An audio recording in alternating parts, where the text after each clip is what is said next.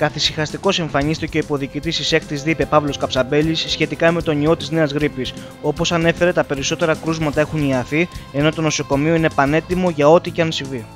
Συνεχίζεται η κόντρα που έχει ξεσπάσει μεταξύ της Προέδρου Αμαλίας Καραγκούνη Κίρτσου με τους κατοίκους επιχειρηματίες της Δάφνης. Ο πρόεδρος του Βασιλικού Πέτρους Γιαννούλη σημείωσε ότι θα πρέπει να παραιτηθεί η πρόεδρος του πάρκου. Στην επόμενη συνεδρίαση του Νομαρχιακού Συμβουλίου θα συζητηθεί το θέμα του Εθνικού Θαλασσίου Πάρκου και της λειτουργίας του, καθώς και το αίτημα των κατοίκων του Βασιλικού για αποχώρηση των τοπικών μελών από το Διοικητικό Συμβούλιο του Φορέα. Όπως ανέφερε ο Αντινομάρχης και μέλος του Διοικητικού Συμβουλίου του Πάρκου Διονύση Παλαδινός, το Σώμα θα κληθεί να λάβει τις όποιες αποφάσεις, ενώ άφησε ανοιχτό το ενδεχόμενο της αποχώρησής του από το Φορέα, λέγοντας πως το υπεχοδέ πρέπει να πάρει τα μηνύματα των τοπικών αρχών.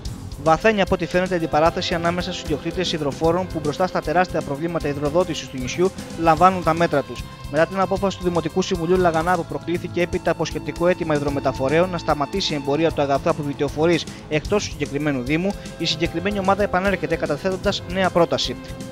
Τεράστια προβλήματα στην υδροδότηση των δημοτικών του διαμερισμάτων αντιμετωπίζει ο Δήμος Ζακυνθίων λόγω των μειωμένων ποσοτήτων νερού που λαμβάνει η ΔΕΙΑΖ, η οποία διαστόματος του Προέδρου της Μπάμπη Μαυρία βάλει κατά τους συνδέσμου ίδρυυση. Την ίδια ώρα συνεχίζει το έλεγχο στις οικονομικές και διοικητικές πράξεις επιχειρήσεις από το 1998 και μετά, αφού στις εγκαταστάσεις της βρέθηκε το προηγούμενο διάστημα οικονομικός υπερθεωρητή περιφέρειας Γιάννης Λέκας.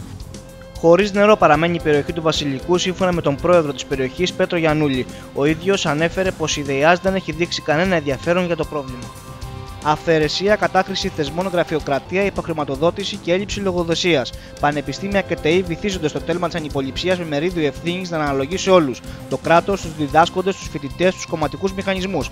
Αυτά διαπιστώνει η έκθεση της Αρχής Διασφάλισης Ποιότητας στην Ανώτατη Εκπαίδευση για το 2008, η οποία κατατέθηκε πρόσφατα στη Βουλή. Από την άλλη, Λουκέτο μπαίνει στα αζήτητα τμήματα ΤΕΗ αλλά και αρκετά αντίδωρα κοινά προπτυχιακά και πανεπιστήμια, ερευνητικά εργαστήρια και άλλα στον ευρύτερο τεχνολογικό χώρο, επιφυλάσσει όπως αναμενόταν το σχετικό σχέδιο νόμου του Υπουργείου Παιδείας. Με πολλά προβλήματα θα ξεκινήσει η νέα σχολική χρονιά το Σεπτέμβριο για τα σχολεία της πρωτοβάθμιας και δευτεροβάθμιας εκπαίδευσης λόγω της πολιτικής επιλογής του Υπουργείου Παιδείας να μειώσει για άλλη μια φορά τους μόνιμους διορισμούς εκπαιδευτικού προσωπικού.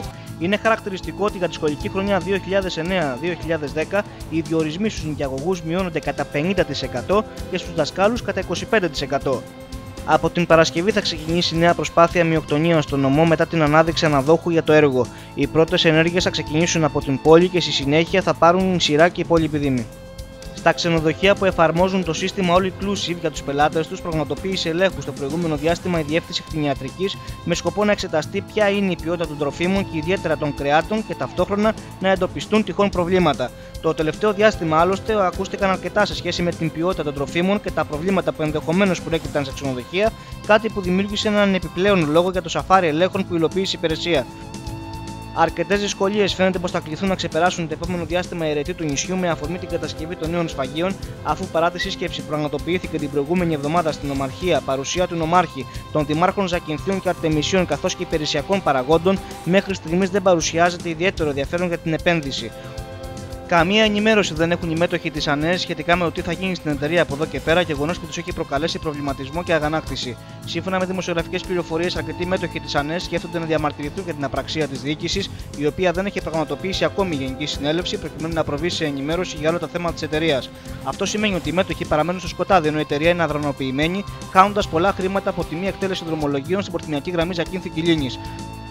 Με 1,24 ευρώ το λίτρο τρέχει η τιμή της αμόλυβδη βενζίνης στα νησιά και στις τουριστικές περιοχές της χώρας, ενώ η κερδοσκοπία συνοδεύει τους εκδρομή και στα πλοία. Η μεγάλη έξοδος των εκδρομένων για τις θερινές διακοπές φαίνεται πως άνοιξε την όρεξη των κερδοσκόπων που βάζουν φωτιά στις αντλίες των πρατηρίων υγρών καυσίμων και κάνουν ταχυδακτηλουργικά για να παρακάμπτουν τις αγρονομικές διατάξεις. Και ενώ οι μετακινήσεις έχουν γίνει πλέον ακριβή υπόθεση λόγω της αύξησης των τιμών στα καύσιμα, οι καταναλωτές αναγκάζονται να πληρώσουν εν ώψη των καλοκαιρινών τους διακοπών καραβίσιους στους καφέδες, το εμφιαλωμένο νερό, τα σάντουιτς και τα αναψυκτικά σε πλοία, αεροδρόμια, σταθμούς τρένων και λεωφορείων αλλά και σε αρχαιολογικούς χώρους, με καπέλα στις τιμές που ξεπερνούν σε ορισμένες περιπτώσεις ακόμα και το 150%.